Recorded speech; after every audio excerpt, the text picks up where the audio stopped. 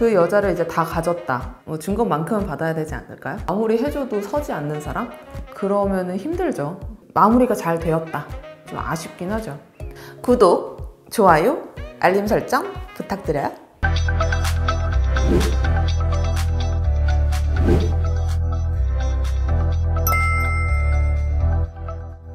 오늘은 조금은 은밀하고 예민한 주제입니다.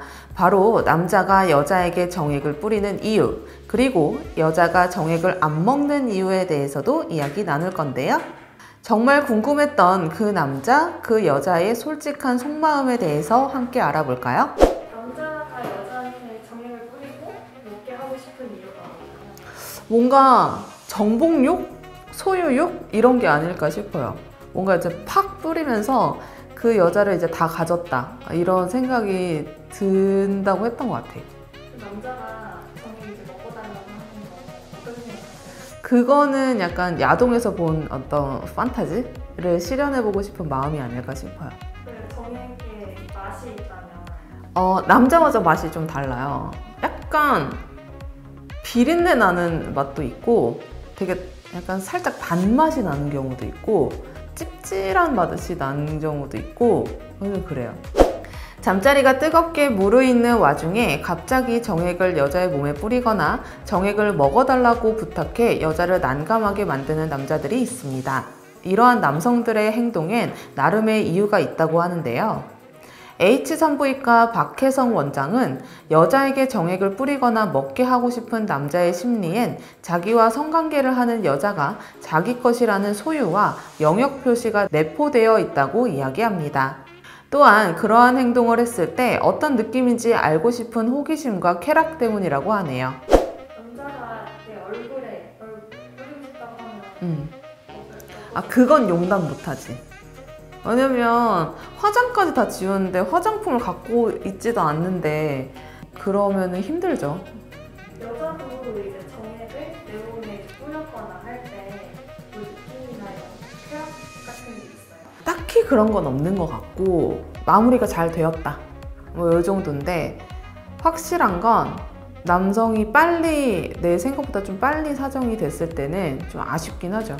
그 이외에는 뭐 별로 뭐 어느 부분에 뿌리던 사실은 그닥 그렇게 큰 뭐 차이 이런 건 없는 것 같아요. 발기부전, 조루, 전립선 문제 등의 남성들의 고민. 이젠 믿을 수 있는 남성 기능 의료기기 코코메디와 함께하세요. 코코메디는 나이 들면서 자연스럽게 겪게 되는 남성 기능 문제를 하루 10분 간편하게 해결합니다. 코코메디의 놀라운 효과와 안정성은 식약처 의료기기 등록, 미국 FDA 등록을 통해 입증되었습니다. 코코메디가 10년 넘는 기간 동안 많은 고객들에게 판매할 수 있었던 이유, 바로 많은 남성들이 코코메디를 통해 얻은 자신감 덕분입니다. 성적 향상에서 준비한 코코메디 특별 이벤트를 쏩니다.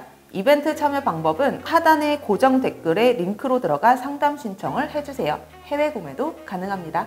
미리미리 예방 차원에서도 이용해도 좋을 것 같아요. 무언가 나의 이제 소중히에 사용이 되는 그런 기기이기 때문에 인증되었다라고 하면은 믿음이 너무 많이 갈 것 같아요. 요즘 좀 힘들다 하면은 완전 추천가. 성적 향상에서 코코메디 쿠폰을 받았습니다. 박수!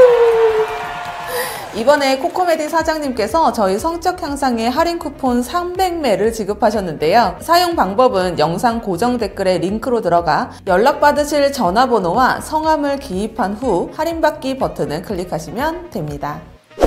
하지만 남자들의 바람과는 달리 대부분의 여성들은 남자들의 정액을 먹고 싶어 하지 않죠. 그 이유는 과연 무엇일까요? 첫 번째 이유는 정액이 맛이 없기 때문입니다. 너무나 단순하고 직관적인 대답일 수 있겠지만 정액은 특유의 비린 맛과 밤꽃 냄새가 풍기는데요. 비위가 약한 여성에겐 매우 역하게 느껴질 수 있답니다. 따라서 남성들은 자신이 원한다고 해서 여성에게 정액을 먹어줄 것을 부탁하면 절대 안 되겠죠?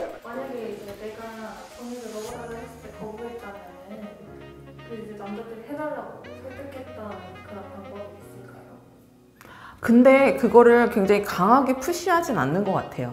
내 걸 먹어 막 이렇게 하는 사람은 없었던 것 같은데 졸른 졸랐던 사람은 있어요. 아 한 번만 한 번만 막 이러면서 졸랐던 사람은 있었어요. 그럼 남자가 가장 좋아할 것 같은 사정 위치는?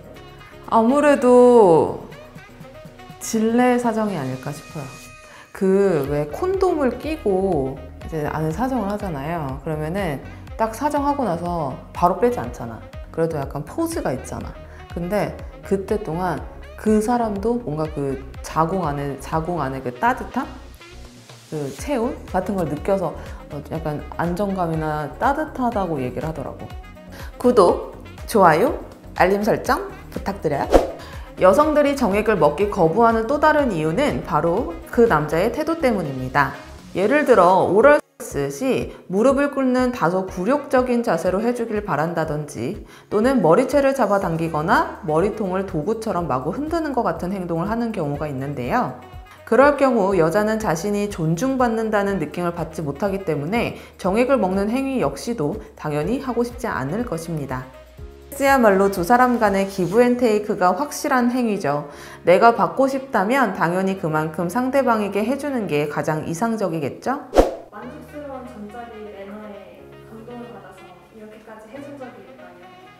전부 다 기본은 쳐, 치었던 것 같고, 같고 뭐 이 정도까지 해서 내가 뭐 감동을 받고 뭐 이런 거는 없었던 것 같아요. 솔직히 얘기하면.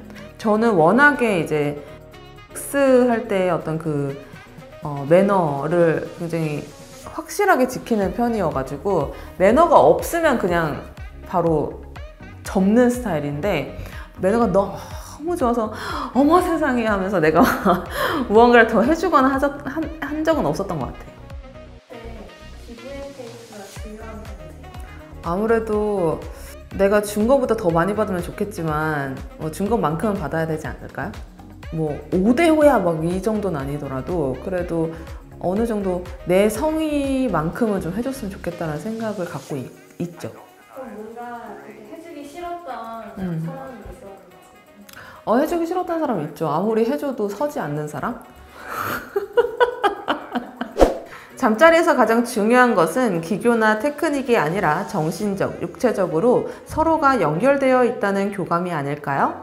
따라서 내가 원하는 어떤 행위가 있다면 상대방의 마음이 기꺼이 움직일 수 있도록 내가 먼저 다양한 서비스를 해주는 것이 도움이 될 것입니다. 또한 상대방이 조금 꺼릴 수 있는 요구사항이 있다면 요청하는 태도 또한 결과에 큰 영향을 끼칠 수 있겠죠. 잠자리에서 너무 헌신적인 사람을 본다면 어떤 기분이 들까요? 어, 실제로 굉장히 헌신적인 사람들이 있었어요.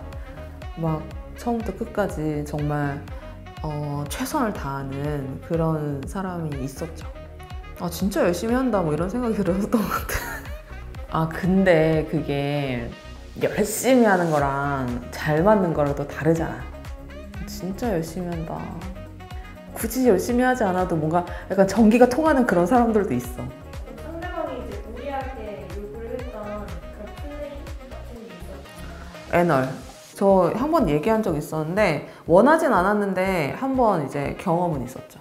그러니까 술자리 끝나고 이제 어 했는데 하다가 갑자기 애널에 집어넣어가지고 그래서 나 진짜 한 일주일 고생했어요. 허리가 너무 아파가지고. 나는 이거만큼은 절대 해줄 수 없다 하는 게 있는지 어 아까 얘기했던 어 애널 애널은 다시는 하고 싶지 않아요. 음.